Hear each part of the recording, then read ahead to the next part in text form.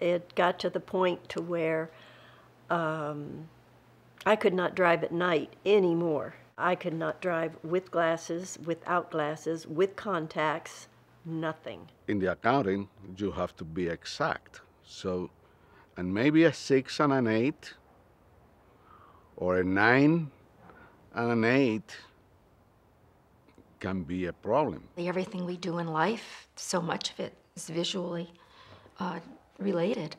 And to me, you know, because I enjoy doing so many things, it would be very scary to lose the vision that you do have or to have it worsen where it would make it hard for you to live.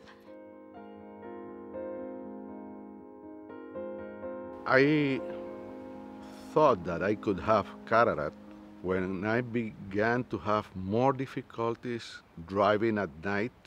I had gotten to the point where I was not very confident in riding my bike anymore because I was afraid that I'd run into something. You could say, oh gosh, that's probably Mary, but maybe it's not, you know. But you waved anyway. As we age, so do our eyes. In time, everyone develops cataracts. Cataracts are a clouding of your eye's lens that could impair your vision in a number of ways.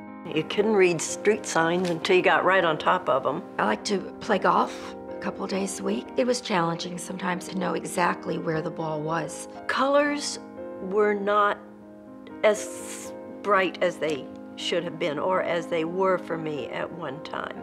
The door of my home is not beige. Mustard. Millions of Americans who have cataracts also have astigmatism. When I was growing up, I had 20/20 vision. It was sometime after high school I started to wear glasses for astigmatism. Astigmatism, as I understand it, is I believe your eye is supposed to be shaped round. Astigmatism is shaped like a football. And that does impair your vision. When I went to contacts, it was much nicer as far as appearance, but the maintenance is a pain in the neck. And the astigmatic contact lenses were very expensive.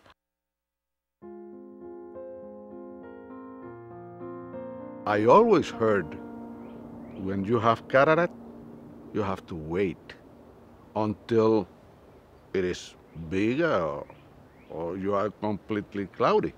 And uh, that's not true. I was nervous. I think you have to be. I mean, whenever your eyesight is affected, but uh, you have to have confidence in the doctor. The only way to correct cataracts is with surgery. The good news is that cataract surgery is one of the safest and most effective procedures performed today. Your doctor will make a tiny incision in your eye using an instrument about the size of a pen tip to gently separate and remove the cataract. Once it's removed, a new lens is inserted that unfolds into its permanent position. He explained this same day procedure. First, they do one eye, and then the following week, they do the second eye. And you just need somebody to drive you, because you can't drive, obviously, that day. You go in and they give you the pre-op, they give you a uh, intravenous, and um, put all kinds of drops and everything in your eye. The doctor comes in, explains what he's going to do, and it was very pleasant. You know, you don't even feel anything. Then the next morning, I was able to drive to the doctor myself, if you can imagine. And uh, he just checks to make sure the surgery had gone well. If you want to be less dependent on glasses after surgery, you'll need to correct your cataracts and your astigmatism. Fortunately, there's now a lens that lets you do both at the same time AcrySof Toric. If you have the surgery for the cataracts and you have a toric lens put in, you're doing both. You're having your astigmatism corrected as well as having the cataracts removed. The breakthrough AcrySof Toric lens works with the abnormal curvature of your eye to correct the blur caused by astigmatism as well as the fog caused by cataracts.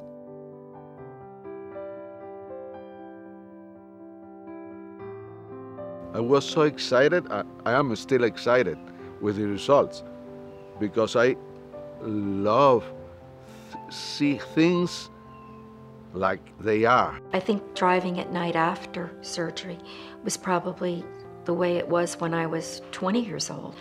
Uh, you didn't have that halo effect. Everything was sharper.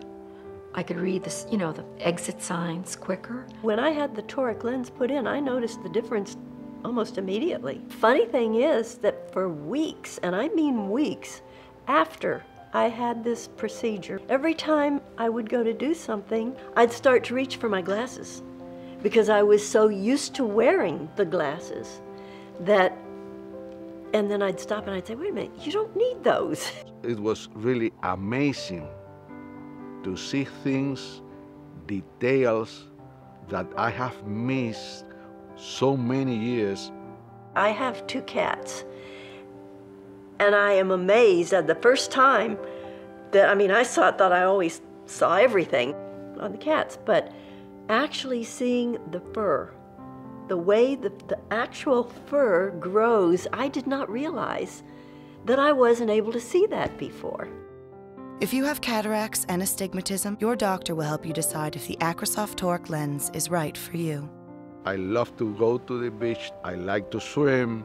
When you are swimming, you cannot wear glasses. That riding the bike, it's made a big difference. All my confidence has come back. The toric lens has been really, I, I don't know, I can't say enough good about it. I think you become accepting of what you're seeing, and you don't really know what the opportunities are to make it better until you actually have it done.